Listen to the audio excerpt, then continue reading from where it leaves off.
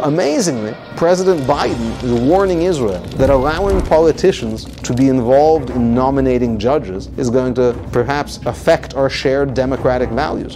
Where, of course, in America, politicians do exactly that. Eugene Kontorovich is a scholar of international law, an expert in the Israeli Arab conflict, and a professor at George Washington University's Scalia School of Law. At a time when many have lost faith in international organizations, I sat down with them to discuss what role they should actually play. With all international institutions, the trade off is how to be able to rely on them for small things and not put faith in them for important things.